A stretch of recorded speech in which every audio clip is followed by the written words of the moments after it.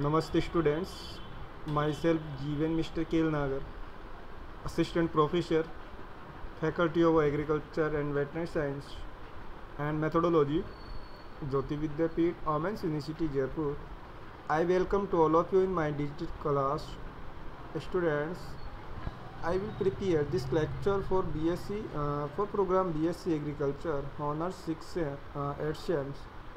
My subject is Protect Cultivation. students today i am discuss about carnation cultivation under protect structure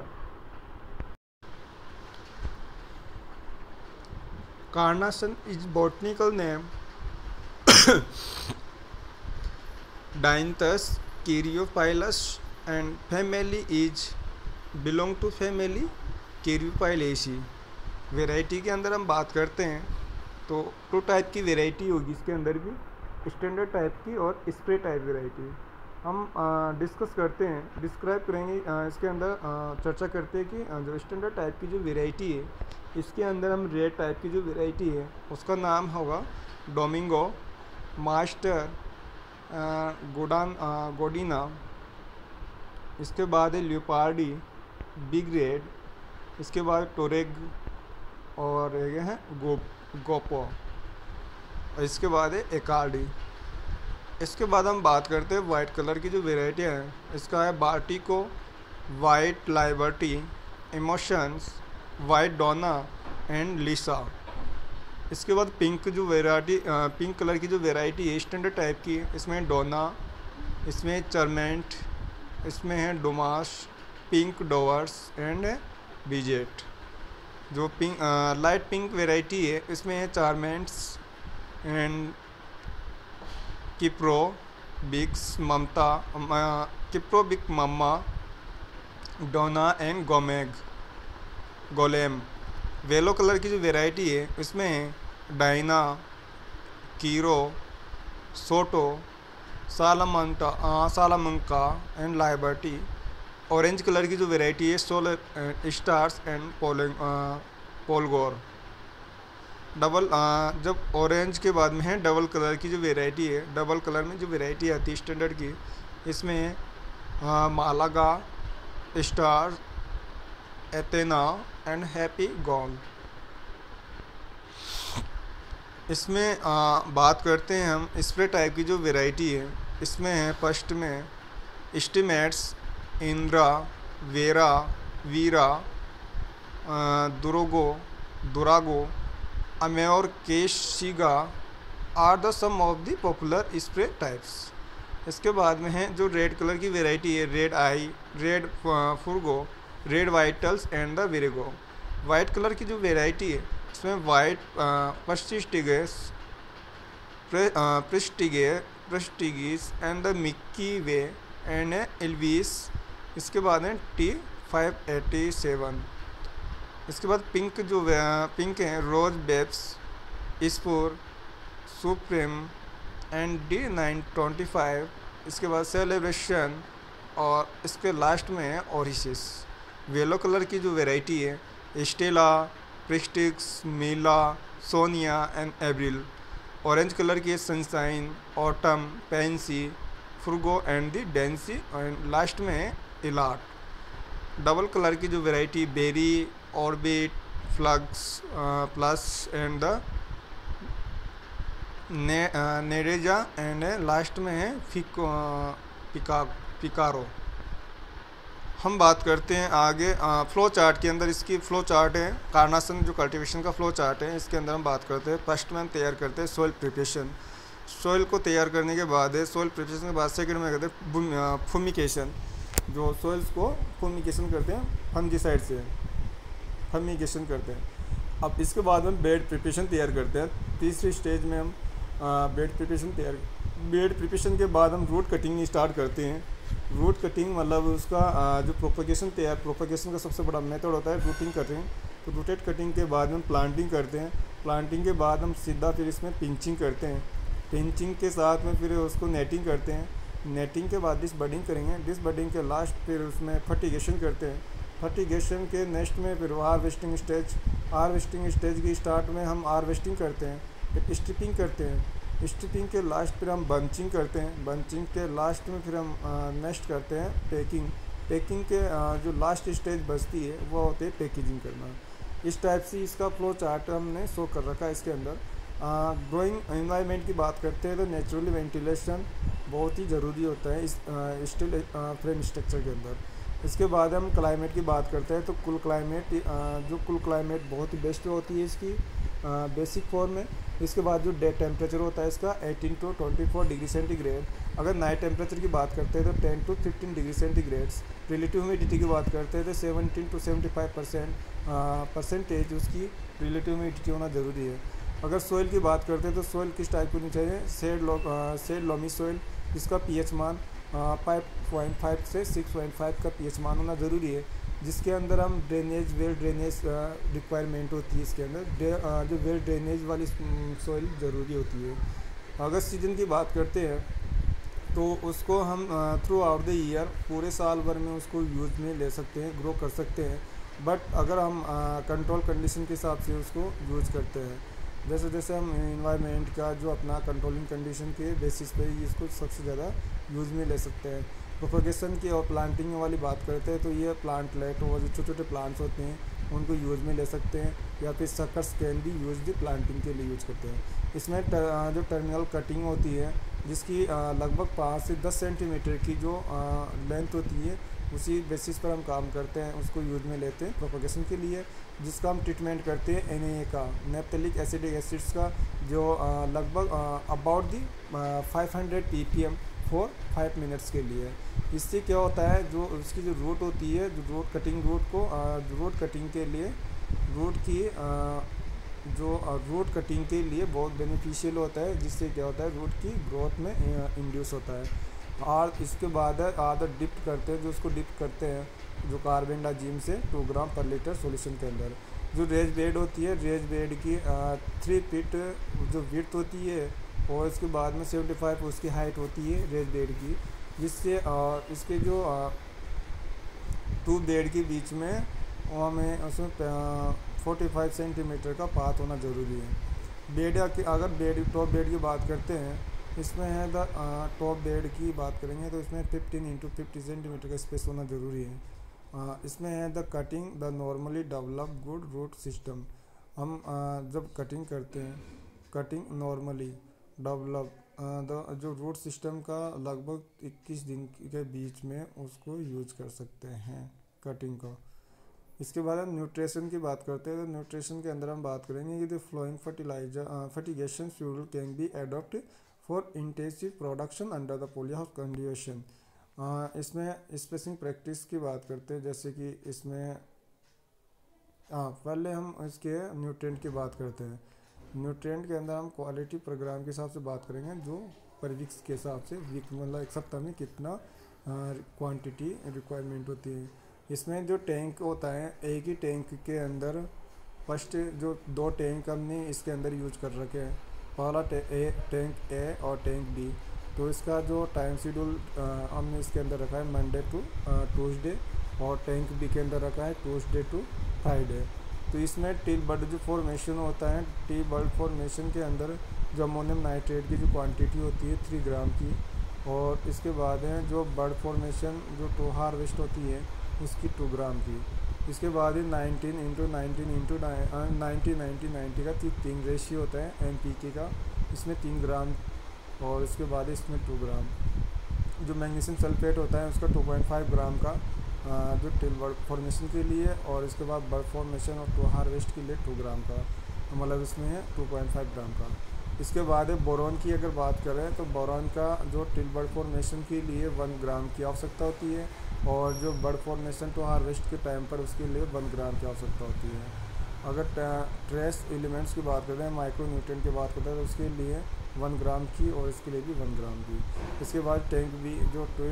जो Tuesday to Friday के अंदर बात करते हैं तो उसमें पोटेशियम नाइट्रेट की जो क्वान्टिटी होती है फाइव ग्राम की एंड उसमें जो सेकेंड स्टेज में जो बर्ड फॉर्मेशन को हार्वेस्ट के लिए भी फाइव ग्राम की कैल्शियम नाइट्रेट की बात करते हैं तो एट एट ग्राम की आवश्यकता होती है टिल बर्ड फॉर्मेशन के लिए एंड जो बर्ड फॉर्मेशन टू हार्वेस्ट के लिए नाइन ग्राम की आवश्यकता होती है अगर हम बात करते हैं स्पेसिक जो स्पेशल प्रैक्टिस की बात करेंगे तो netting for the plant support के लिए नेटिंग यूज करते हैं क्योंकि इससे प्लांट गिरने की संभावना बहुत कम रहती है इसमें जो नेटिंग की चार लेयर होती है पहली है फर्स्ट ईयर फर्स्ट लेयर की बात करते हैं तो ये कितनी लेंथ पर होना चाहिए seven point seven into seven point seven metre के आसपास सेकेंड लेयर की बात करते हैं तो ये टेन इंटू टेन सेंटीमीटर के आसपास थर्ड लेयर की बात करते हैं तो ये twelve into five twelve point five to twelve point five centimetre के आसपास थर्ड लेयर उसकी नेटिंग की होनी चाहिए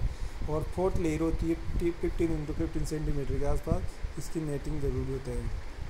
सपोर्ट मेटेरियल की बात करते हैं तो कार्नाशन है जे tendency to tendency to uh, bend unless supported uh, properly hence the crop needs support while the growing and good support uh, material is metallic wires oven with nylon mesh जो nylon mesh से बना हुआ जो metallic wires होता है उससे हम इसको use में दे सकते हैं इसके बाद the pole pole at the both end of the bare bed के दोनों एंड में ही पोल को यूज पोल यूज किया जाता है जिससे क्या होता है यह एक मेटेलिक वायर को अच्छे से टाइट करके उसके ऊपर लेयरिंग का मतलब अराउंड द बेड बेड के आसपास में उसे यूज में ले लिया जाता है length with the support of the supporting poles supporting poles के थ्रू उसको उसके ऊपर यूज में मतलब उसको अच्छे से बिछा देते जाल टाइप का उसे बिछा देते हैं उसके ऊपर साइड में अब हम आगे बात करते हैं पिंचिंग की बात करेंगे सेकंड पॉइंट में नेट के बाद pinching it depending upon the need of the crop spreading singles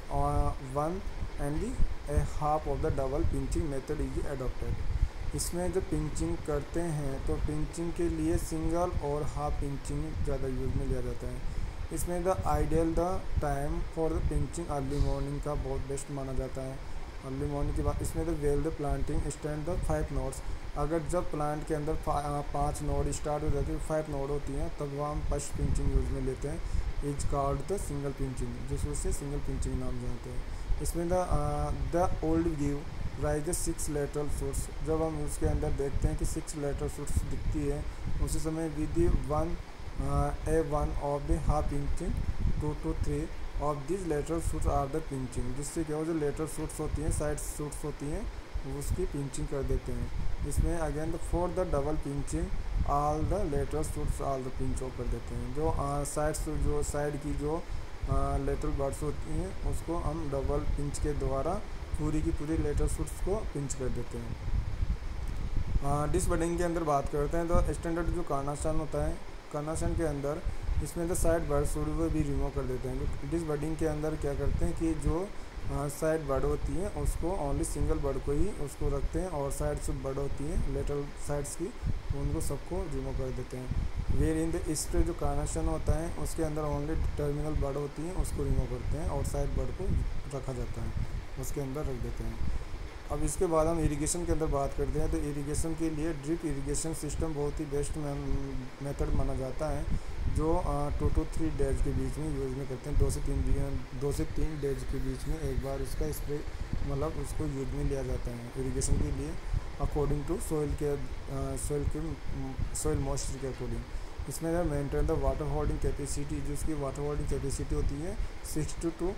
sixty five percent के आसपास उसकी वाटर होल्डिंग कैपेसिटी रखी जाती है इसमें जो optimum water requirement of the crops five to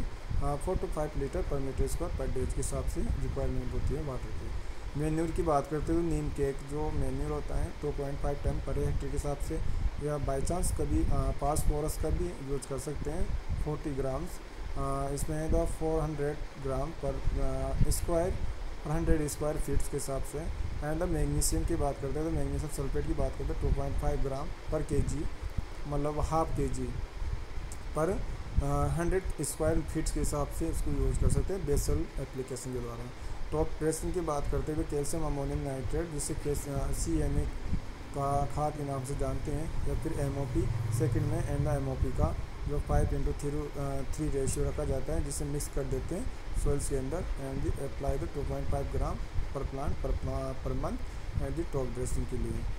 protection की बात करते हैं प्लांट प्रोटेक्शन प्लांट प्रोटेक्शन में फर्स्ट uh, में हम बात करते हैं फर्स्ट पॉइंट के अंदर एपिड एपिड का जो जूलॉजिकल uh, नाम है माइजस पेरिसी का इसमें जो डैमेज सिस्टम होता है उसका जो डैमेजिंग सिस्टम किस पे होता है सबसे ज़्यादा बर्ड पर इससे क्या होता है यह फीडिंग यूजल द आकर इन द बर्ड बर्ड को ये सीधा फीडिंग करता है इसको खा ले खाता है ये अंडर साइड द लिप्स जिसको अंदर के जो लिप्स और जो लिप्स होते हैं अंदर वाले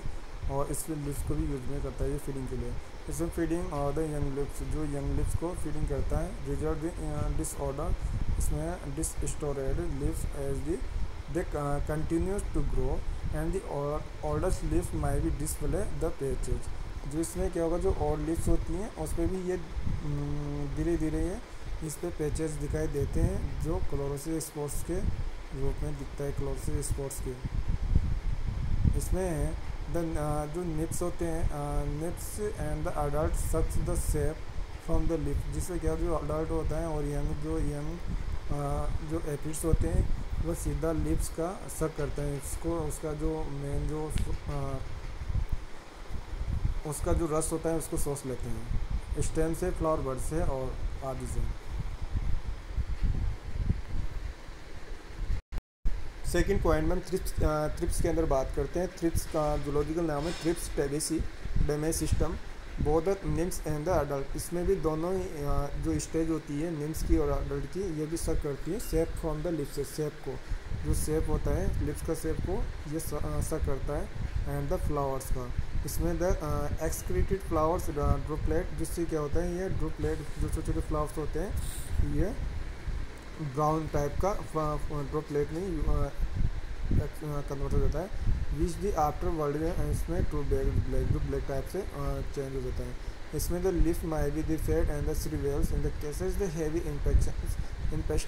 and the foliage become the silver जो लास्ट में ये एक सिल्वर टाइप का uh, बन के तैयार बनता है कंट्रोल सिस्टम के अंदर बात करते हैं तो इसमें कौन सा स्प्रे करते हैं फिप्रोन का point five milligram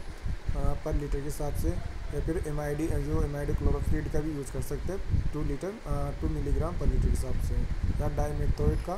जो थर्टी ई सी पर पर millilitre per per milligram के हिसाब से पर लीटर के हिसाब से यूज करते हैं अगर हम आगे बात करते हैं रेड स्पाइडर माइट जो रेड स्पाइडर माइट का जोलॉजी का नाम है टेट्रास नाइकस यूटेसी यूरकेटेसी इसके बाद जो कंट्रोल करते हैं इसका अप्लाई दी वर्मेटिक्स वर्मेटिक्स जिसका जो ए सी रखा जाता है 1.9 पॉइंट का इसके बाद स्प्रे करते हैं इसमें है तो एजार एजार डायरेक्टिन का जो इसका एम रखा जाता है fifty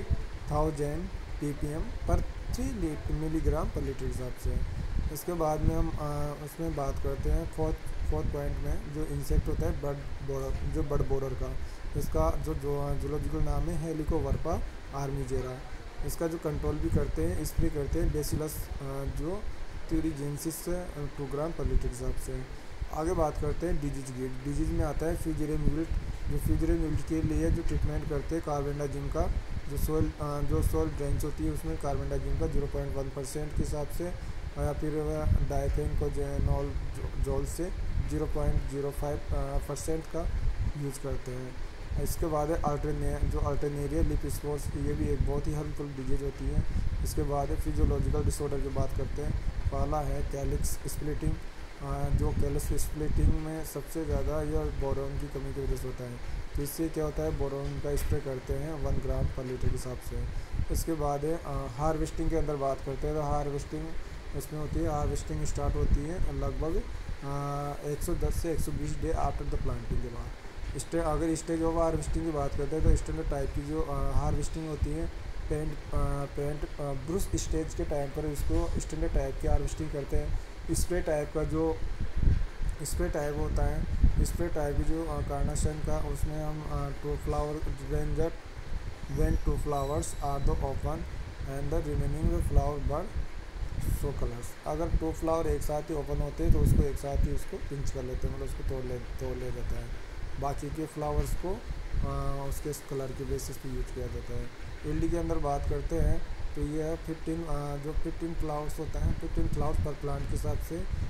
यूज मतलब उसकी ईल्ड होती है अगर हम बात करते हैं तो three hundred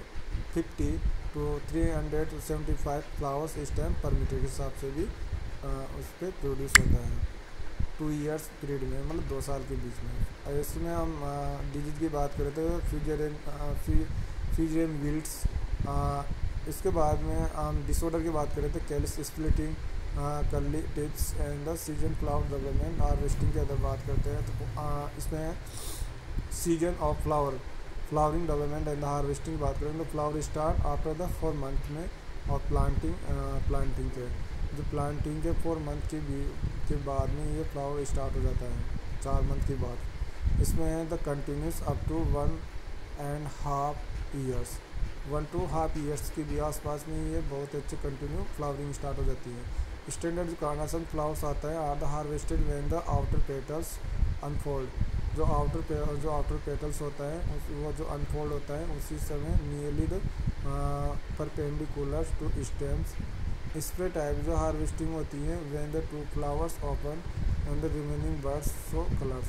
जो बाकी की जो बर्ड्स होती है वह अंदर ही शो रहती है मतलब कलर नहीं दिखती है इसके बाद daily harvesting is made leave the bottom five nodes of the stars जो स्टार्स के जो फ्लावर स्टार्स होता है उसकी फाइव नोट से उसका जो नीचे नीचे की बॉटम होती है उसके नीचे उसका उसको तोड़ लिया जाता है हार्वेस्टिंग कर लिया जाता है इसके बाद में है आ, हम जैसे कट फ्लावरिंग के लिए अगर मार्केट में उसको यूज करते हैं उसको मार्केट में सेल करते हैं तो उसके लिए मतलब कुछ हाफ कुछ हाफ टाइप का जो स्टॉक्स होता है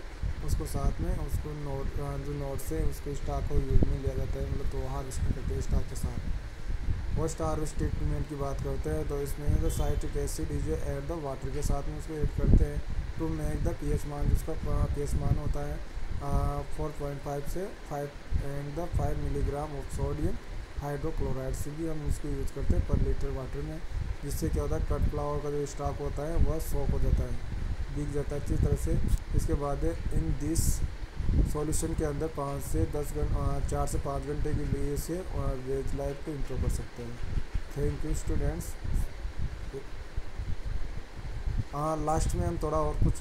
ग्रेडिंग के अंदर बात करते हैं तो ग्रेडिंग होती है बेस्ट इसमें तो best on the stem thickness second में स्टेम लेंथ एंड लास्ट में है क्वालिटी ऑफ फ्लावर ग्रेडिंग चार टाइप से उसकी ग्रेडिंग करते हैं ए बी सी डी में ईडी के अंदर हम लास्ट में बात कर रहे थे एवरेज डी उसकी होती है eight staff per plant per year के हिसाब से थैंक यू बच्चों